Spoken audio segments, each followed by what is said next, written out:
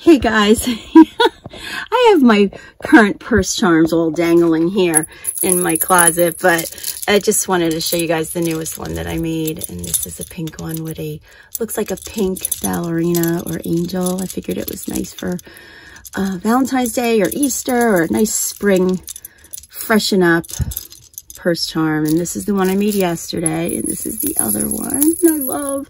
And here is my Disney Minnie Mouse one. But anyway, yeah, they're all hanging here. They actually look so pretty.